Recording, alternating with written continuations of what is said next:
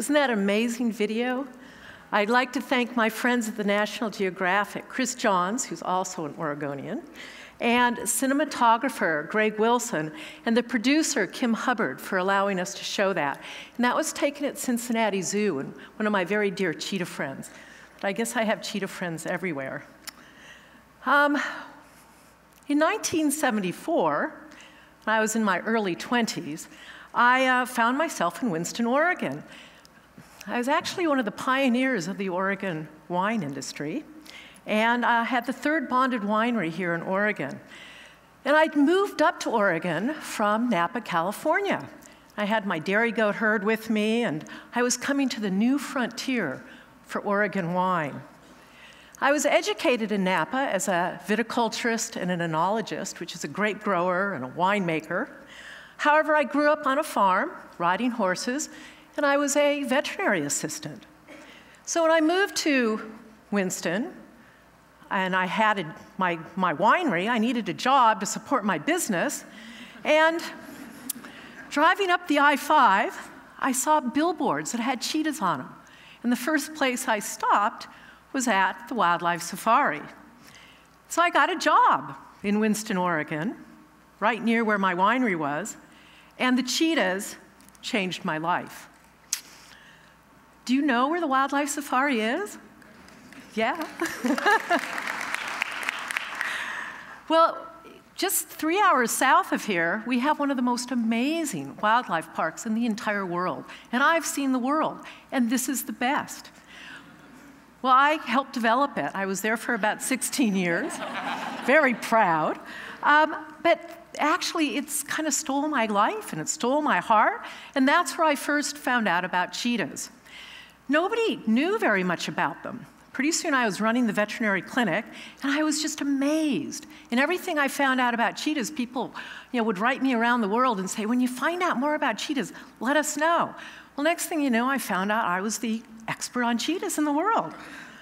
Kings, princes, emperors had revered cheetahs for thousands of years, and yet we were losing the species before our very eyes. Um, so during the years that I developed um, the most successful breeding center for cheetahs in the United States, and Winston's still one of the most successful breeding centers in the world, um, I finally realized that I needed to do something else if we were really going to try to save the cheetah. Now, here I'm actually pictured with two of my very special charges, and that's Munchkin, who's a gibbon ape, um, and Khayyam with me. And Khayyam is actually the cheetah that gave me a vision and showed me the way to save them. Well, what if we lost the cheetah? What if this magnificent animal, the icon for speed and elegance in nearly every culture, what if it disappeared from Earth?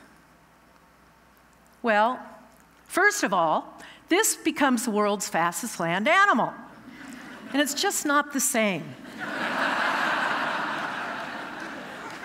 Fast as a pronghorn antelope? Just doesn't have the same ring to it, does it? so he can't lose the cheetah for that. But it goes way beyond that. Oh, if we lose the cheetahs, entire ecosystems throughout the cheetah's range in Africa and India lose one of their critical predators. And the cheetah, it's going fast. In the last hundred years, we've lost 90% of the world's population of cheetahs. This is Namibia, and it's home to the largest population of wild cheetahs in the world. And I now live there. I live out of the town called Otjiwarongo, which means where the fat cattle grow. And it's where I've developed the International Research Center for Cheetahs. How I got there, though, was in 1977. I um, brought Khayyam, who'd been born here in Oregon and I'd hand raised, over to Namibia to do groundbreaking research to find out if a captive born cheetah could learn how to hunt. Well, nothing that I had experienced prepared me for actually what I saw when I arrived there. When I first arrived, I found farmers trapping and shooting cheetahs. They were killing hundreds of cheetahs every year. In the 1980s alone, they halved the cheetah population in Namibia, killing nearly 10,000 animals. I had to find out why the farmers were killing them. Was it actually because they were killing their livestock? Was it a perceived threat, an actual threat? Or was it the fact that they needed more education and to learn about the cheetah? In 1990, I set up the Cheetah Conservation Fund. And I moved from my then job at the Smithsonian Institution in Washington, D.C. I sold all my worldly belongings and I moved to Namibia. And from there, I visited farmers. I went door to door, farm to farm. Our next door neighbor is like an hour and a half away. So, very great distances. I was in an old beat up Land Rover. Of course, you have to have one if you go over to Africa. Um, and I talked to the livestock farmers. They were raising cattle, goats, and sheep. But growing up on a farm, I really felt that I understood them. And actually, I got a lot of credibility because I'd say to them, Well, you know, over in the United States, I was a goat judge. And I was, I did. I traveled all around the country judging people's goats. I like goats a lot. um, and most of the commercial farmers raised cattle, and the communal farmers had goats and sheep. The farmers, though, many of them were very, very poor, and even losing one sheep actually meant a disaster for their family's livelihood. And cheetahs were not this, you know, elegant icon of speed and grace that we think of, the farmers considered them to be vermin. And they preyed on their goats and their sheep, and they should be shot on sight. And there is no way that I could convince them to save a cheetah if I couldn't really help them with their livelihoods. And a lot of that really looked at livestock management and wildlife management. I had to really come up with some real solutions to their problems if they were going to help me save the cheetah. This is Chewbacca. And he was orphaned when he was 10 days old, and he's been my best friend for um, 16 years. He passed away a couple years ago, unfortunately, but he lived a very long life. But Chewbacca met everyone who visited our research and education center, and he helped me educate farmers, he helped me educate a nation. I asked myself, what if I could show farmers that saving cheetahs was actually the key to prosperity for them and their neighbors? Suddenly, it wasn't just about saving the cheetah anymore. It became looking at how to save whole systems, everything within a system. And the cheetah was just the beginning, the focal point, the cat to list.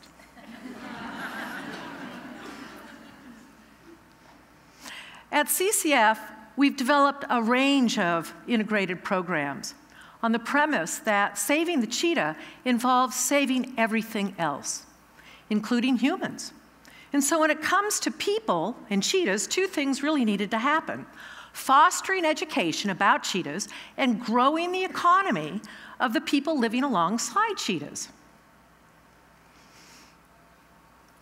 We've provided education um, about the cheetah to farmers, to school learners, to conservation biologists throughout the cheetah's range, so that they have a better idea of the role that the cheetah plays in the ecosystem and how its very presence in Africa can foster travel and tourism. And we welcome everyone to come over to Namibia and visit us. But one of our most successful programs in the work that we've done to date has been our livestock guarding dog program. These are Kangal dogs, or Anatolian shepherds, and they grow up with the goats and sheep. They're a breed that's been successfully raising and guarding flocks in Turkey for about 5,000 years. And they've done it to protect the flocks against the wolves and bears. Now, I first learned about these breeds of dog here in Oregon in the 1970s when the farmers were getting these dogs in to protect their sheep from coyotes. We need more Anatolians in Oregon here today as well. In Namibia, we breed them, and I've given out over 400 of these dogs to Namibian farmers. We teach them how the dogs work. Our research shows that farmers that have our dogs have reduced their livestock loss from not just the cheetah, but all the predators by over 80 up to 100%.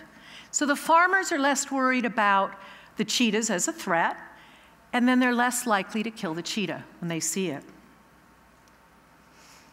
We're providing resources and techniques so that farmers can have a better um, life for their families.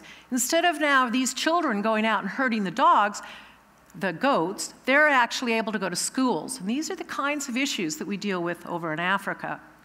In Namibia, we run a model farm now where uh, we raise cattle, goats, and sheep, our livestock guarding dogs, and our farm serves as a teaching opportunity for Namibian farmers.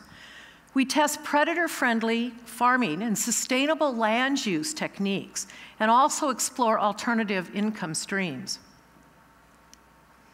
Now, this is our creamery that we just opened. Uh, I told you I like goats.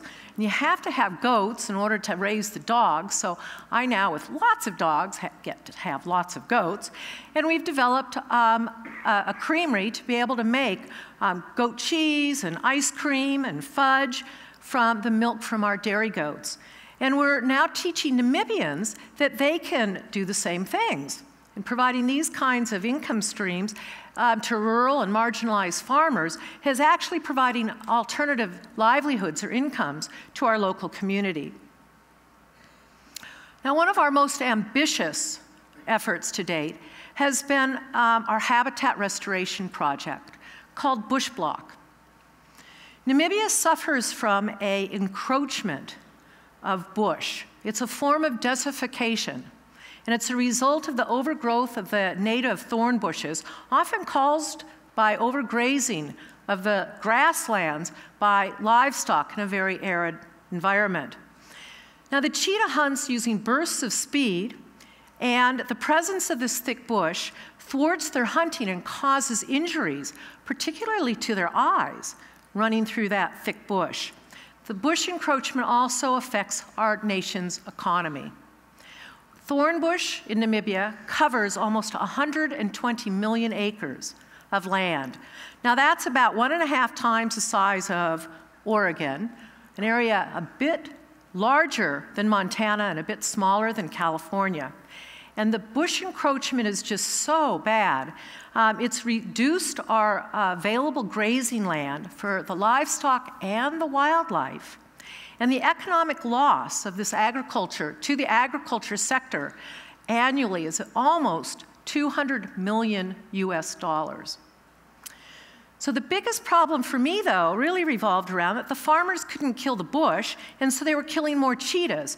And all the farmers that I talked to would say, well, we can't stop killing cheetahs because all this bush is reducing our income. So I thought, well, what if we could transform all of this thorn bush into something useful. Well, my time in Southern Oregon taught me a lot about the timber industry.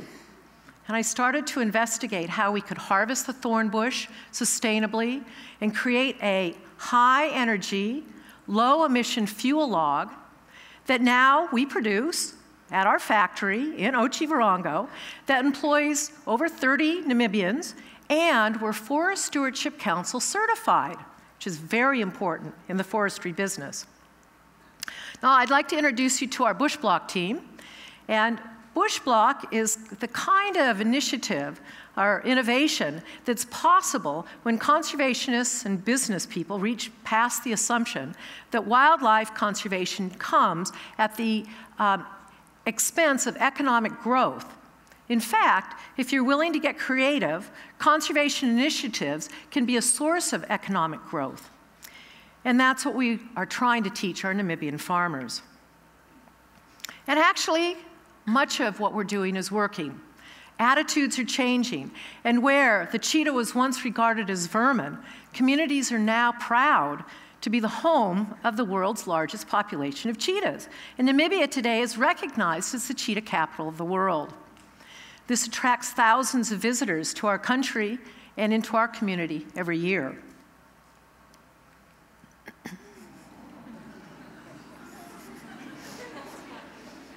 I'm homesick. um, you see, there's less than 10,000 cheetahs left in the world today. And while we've been very successful in Namibia, We're working now throughout the cheetah's range. And we need to do a lot more, a lot faster. Because if we're not successful, the cheetah could disappear from the earth in the next 20 years.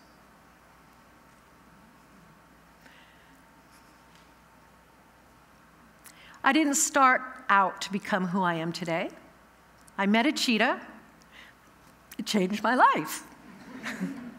Meeting a cheetah, falling in love with a cheetah, gave me a mission, um, and it's given me a focus. And you may have noticed in that video that we were watching early on that the body of the cheetah, it was moving and the tail was moving, but the eyes were fixed, the face was fixed directly on what, um, what it was going after, its target, with laser focus. Nothing else matters. And that's what's made the cheetah a successful predator. And it's that kind of focus that's allowed me to do exactly what I've done. So I'm not so very different from anyone else. I just wake up every day with a mission, a single focus to save the cheetahs. What I've learned is that you can do the most extraordinary things if you're willing to pursue your objective with that kind of focus and determination, just like a cheetah. But what I've learned is saving the cheetah really means changing the world so that the cheetah can survive. Now, I'd like to introduce you to one of my close friends, and I have, I guess, maybe 10,000 cheetah friends in the world. Um, and the cheetah that is going to come out was born at the Wildlife Safari in, down in Winston, and I hope that you'll all come to Winston to visit not only this cheetah, and this is Khayyam 2, who is named after my Khayyam, Khayyam 1. And if you go down into Winston, there's one stoplight and there's a big statue of Khayyam 1 there. But I really encourage everybody to um, learn about the cheetah. And I wanted to bring the cheetah here for you to see and understand what's given me my purpose in life and my focus. So, ladies and gentlemen, and all of you here in the Rose City and around the world, what if we lost the cheetah? And I'd like you to hear from the cheetah's voice.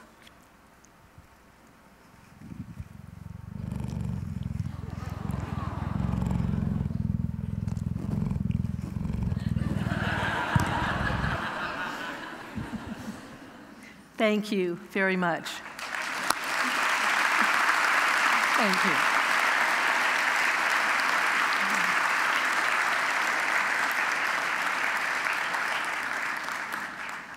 Now, you're welcome to come up and say hello. You can't pet, but um, we welcome you to come a little closer. Or please do go down to the Wildlife Safari and visit um, all of our friends down there. Or come over to Namibia and you can um, help us save cheetahs. We, uh, we welcome you over in Namibia as well. Thank you very much. Thank you, Dr. Laurie.